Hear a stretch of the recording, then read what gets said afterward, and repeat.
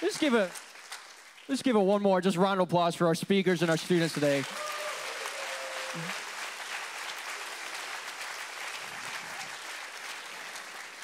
First John 5 11 through 12 says, And this is the testimony God has given us eternal life. And this life is in his Son. Whoever has the Son has life. Whoever does not have the Son of God does not have life. Sometimes we spend our entire lives looking for this life. We spend our entire lives looking for some type of purpose, some type of value within ourselves, and we spend it just looking for something that will make us alive. So, so we go after so many different things, and you know, because it can be so easy to walk around life with a deadness inside of you. It can be so easy to walk around life with something empty inside of you. Maybe there's a, a, bitterness that you're just holding on to that you won't let go, or it's an unforgiveness that you're that you're just struggling and struggling to forgive somebody, or maybe there's a, an addiction to sin in your life, and this bondage is just tying you down. So you walk around life with this deadness, and now you're looking for something to give you that life again, to give you that value again and maybe for some of us that comes with my career. If i could you know if i could just get the approval of other people if my career was good enough people would think highly of me. Or maybe if i drove up to work in the right car people would think highly of me. Or maybe maybe your approval comes in how well behaved your kids are, or how well your kids do, or whether or not they're getting good grades, or they go off to a good school, or if they're making right choices with their relationships. So we put our approval in those things, and now everything we do, everything we try to do, surrounds ourselves in those things, and now we'll do everything we can to make sure that those things stay true in our lives because we want this deadness. We want to feel some type of value of life inside of us. And what we find is that those things never work. We go throughout life and we just want more. Maybe you do have a good job, but it's not the best job. So you could keep going and going and going. You want more and more and more. Your kids, they're good kids, but you know, they could be better. And so you want more. You put all these expectations and pressures on them. You want more and more and more, and nothing is reviving that deadness inside of you. And here's what I know is true.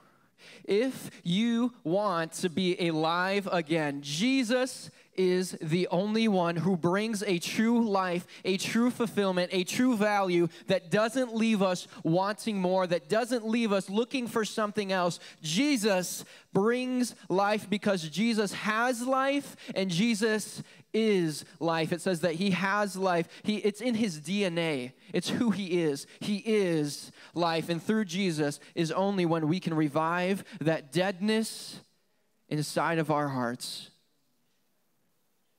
Because Jesus is life. Our theme for this Sunday, for our Youth Sunday, is alive, in case you, ha- you haven't noticed by that. It is alive. And every single one of these students who, who you've seen speak up here, give worship, pass out the communion, take pictures, work in the sound booth back there, every single one of these students who are here today are here because they have found life. They have found Jesus. And not only have they just heard about Jesus, but they have witnessed and they have experienced Jesus for themselves. It's not something that their parents have told them anymore. It is them saying, I have known Jesus. I have walked with Jesus. I know who he is. And they have experienced Jesus and they have this life inside of them now. And they are serving you here today. They are speaking to you here today because they are dedicated to the one who brings them life. However, you know, sometimes this can be a difficult thought for us. This could be a difficult thought because the, the idea of having something alive, having life, because if we're honest, we live in a pretty messed up, broken world, right? You don't have to go far to know that our world is broken. You turn on the news for five minutes, you log on to Facebook, and you'll know within five seconds there's something messed up going on in our world. It's a dark place. We know this, and this idea that we have something alive in this dark world can sometimes be confusing. And, and, and now we start to have these anxious thoughts like, what are we leaving for our next generation? What are we leaving for the next generation? What comes next? Is there any hope for them after today? Is there any hope in the future? We have these, these anxious thoughts, and sometimes it can be discouraging because now all of these attacks are coming up against our children the temptations, the different decisions, the pressure, the expectations of, of, of coming up against our students. And now we're wondering is there a hope for our students? Is there a hope for our teenagers for the next generation? And it can be extremely discouraging discouraging. Can we be alive in such a dark world? And here's what I know God is working something amazing through our students.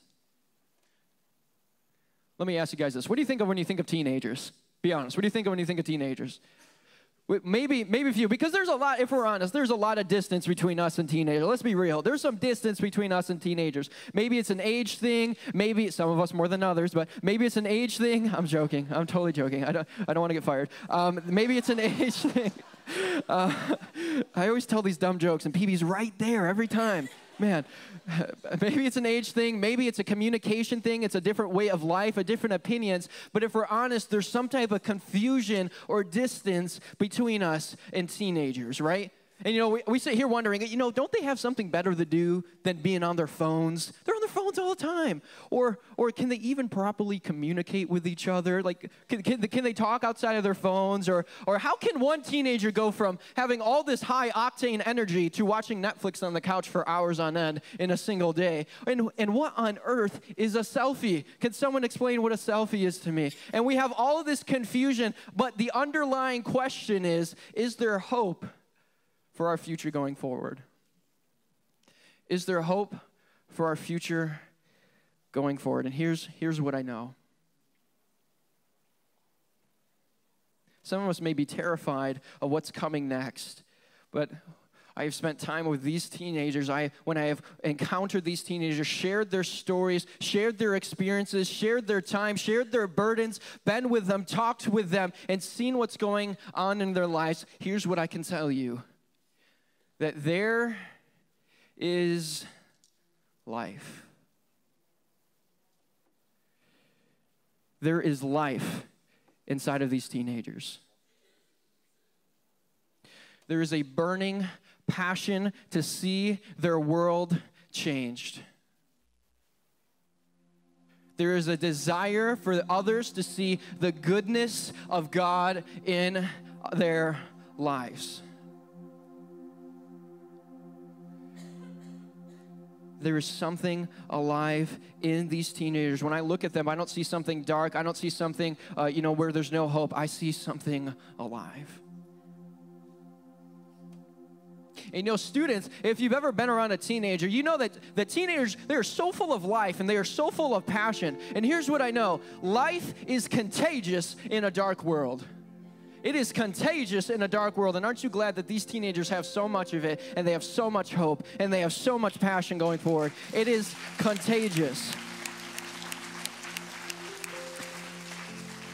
And over this past year, we've had worship events where students have poured out their hearts before God. They have gone to the throne of God and said, God, you can have my heart. You can have everything. And they've given it to God. We've had retreats where our roots have been dug deep in the grace of God. And over the past year, we've had over 95 brand new students walk through our doors because our students have decided that there is no one, no matter how old you are, how young you are, what you look like, where you've been from, who cannot get the grace of God.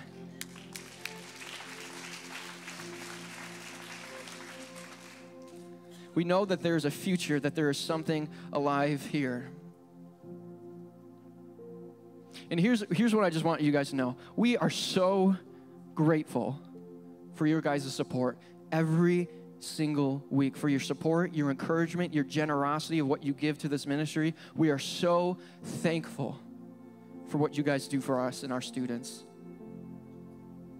And all of us here are, to, are here today because we want to let you know that there is something alive right here at Calvary Assembly.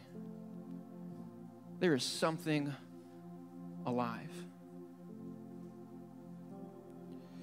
Dear Jesus, we thank you for this time to just worship you. Thank you for the life that you brought to us and the life that you have brought to our students, God. We thank you that there is never a time that you don't walk with us, that you're not near with us. God, thank you for bringing us a hope and a purpose. And I thank you for these students your grace. And I pray these things in your name. Amen. Would you join us as we?